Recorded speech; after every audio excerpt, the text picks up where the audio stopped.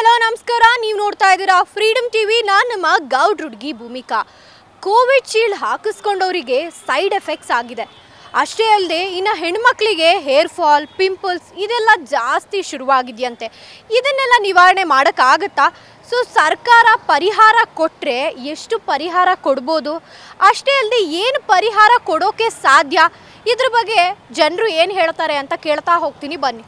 ಏನು ಅಂದರೆ Covid vaccine shield ಹಾಕಿಸ್ತಾರ, ಕೋವಿಡ್ ಶೀಲ್ಡ್ ಹಾಕಿಸ್ತಾರಲ್ಲ, ಅವ್ರಗಳಿಗೆ ಸೈಡ್ ಎಫೆಕ್ಟ್ಸ್ ಆಗಿದೆ ಕೆಲವ್ರಿಗೆ. ಸೊ ಹೇರ್ ಫಾಲ್ ಇರ್ಬೋದು ಪಿಂಪಲ್ಸ್ ಅಥವಾ ಇನ್ನೂ ಹೃದಯಾಘಾತ ಇಂಥದ್ದೆಲ್ಲ ಆಗಿದೆ. ಸೊ ಅವ್ರಿಗೆ ಸರ್ಕಾರ ಪರಿಹಾರ ಕೊಟ್ಟರೆ ಎಷ್ಟು ಪರಿಹಾರ ಕೊಡಬೇಕು ನಿಮ್ಮ ಪ್ರಕಾರ? ಸರ್, ನೀವೇನು ಹೇಳ್ತೀರಾ ಸರ್? ಕೋವಿಡ್ ಶೀಲ್ಡ್ ವ್ಯಾಕ್ಸಿನ್ ಹಾಕ್ಸ್ಕೊಂಡವರಿಗೆ ಅಡ್ಡ ಪರಿಣಾಮಗಳಾಗಿದೆ. ಅಂದರೆ ಎಫೆಕ್ಟ್ ಆಗಿದೆ, ಸೈಡ್ ಎಫೆಕ್ಟ್ಸ್ ಅವ್ರಗಳಿಗೆಲ್ಲ.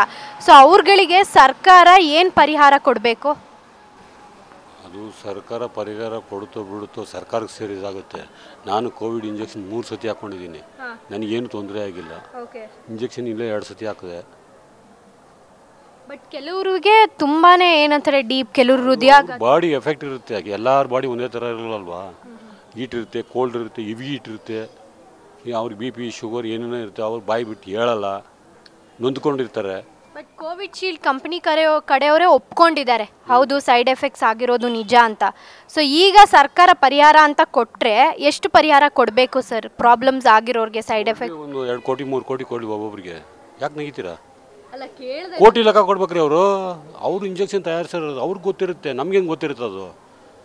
ಕೋವಿಡ್ ಬರಬಾರ್ದು ಅಂತ ಇಂಜೆಕ್ಷನ್ ಹಾಕಿರೋದು. ಅದು ಏನಿದ್ರು ಗೌರ್ಮೆಂಟೇ ಬಂದು ನಿನ್ನ ನಿರ್ಧಾರ ತಗೋಬೇಕು ಹೊರತು ನಾವು ನೀವು ಮಾತಾಡಿ ವೇಸ್ಟ್ ಇದು.